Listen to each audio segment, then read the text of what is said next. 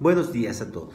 Con mucho gusto desde la Unidad Académica de Estudios Regionales de la UNAM en Jiquilpan, de Juárez, Michoacán, les enviamos muchos saludos y les compartimos el siguiente video sobre salud, que consideramos importante en estos momentos en los que el país vive una emergencia sanitaria y ante esta realidad resulta imprescindible estar bien informado. Recordemos que los retos de cuidar nuestra salud van de la mano de la capacidad que tengamos para informarnos correctamente.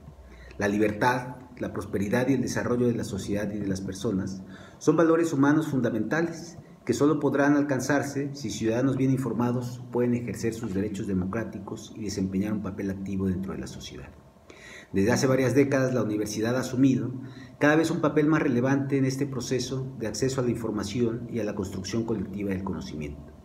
Hoy estamos conscientes que los problemas y las necesidades, así como las respectivas capacidades y los distintos recursos con los que cuentan las comunidades, son tanto la causa como la solución de los problemas regionales.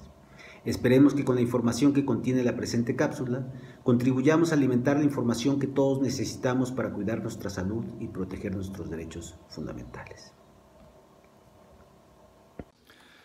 Hablemos un poco del derecho a la salud.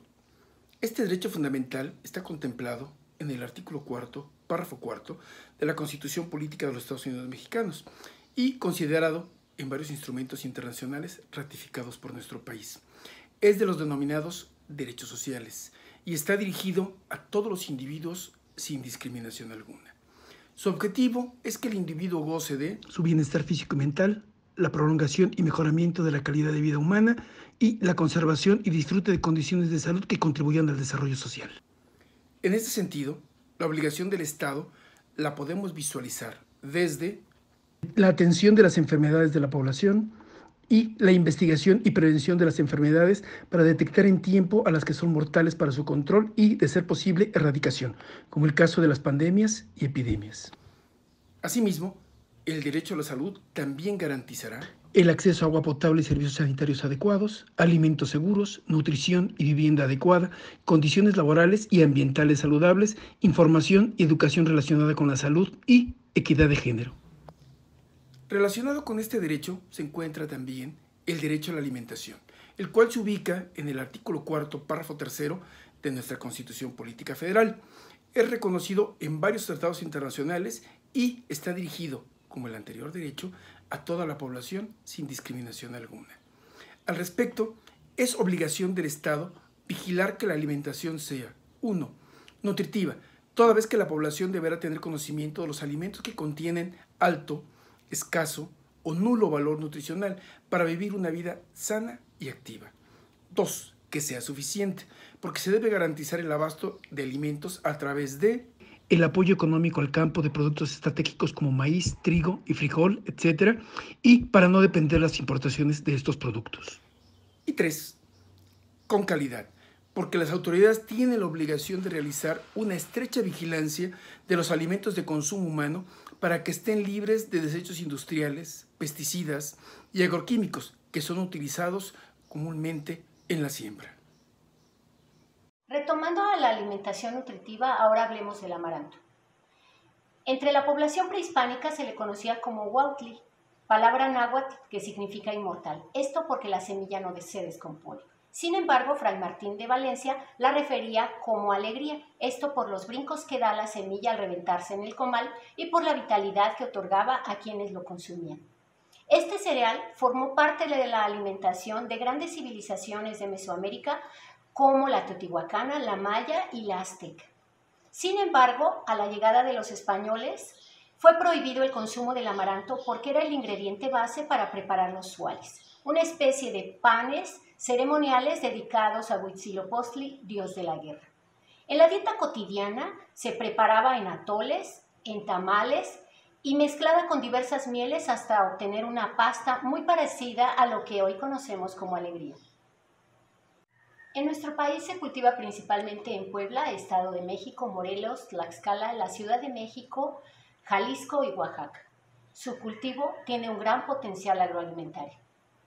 Desde el punto de vista nutricional, el amaranto es un alimento extraordinario, pues contiene 8 aminoácidos esenciales, así como vitaminas A, C y E, y varias del complejo B, además de cantidades importantes de calcio, hierro, fósforo y potasio. También contiene fibra, antioxidantes y péptidos bioactivos. Estos últimos tienen un efecto benéfico a la salud. El amaranto en la cocina es de fácil preparación y de bajo costo, integrándose sin problema a nuestros patrones alimentarios. La experiencia gastronómica con el amaranto surge de observar en diversas comunidades de nuestro país que lejos de reconocer la riqueza de nuestra gastronomía, se presenta un elevado consumo de alimentos industrializados, situación que ha demeritado tanto la salud como la nutrición de nuestro país. A partir de ello nos hemos dado a la tarea de experimentar en recetas locales y regionales la incorporación de este cereal. Así, Hemos probado en tortillas, atoles, sopas, guisados, postres, panes, tamales y bebidas. Y en todas estas preparaciones el amaranto no alteró el sabor primario de los ingredientes base. En un estudio de tipo investigación-acción de la Unidad Académica de Estudios Regionales de la Coordinación de Humanidades UNAM y el Instituto Gastronómico de Estudios Superiores, en colaboración con otras instituciones, se buscó evaluar el efecto del consumo habitual de amaranto en un grupo de niños de edad escolar y pacientes con diabetes mellitus 2, teniendo los siguientes resultados.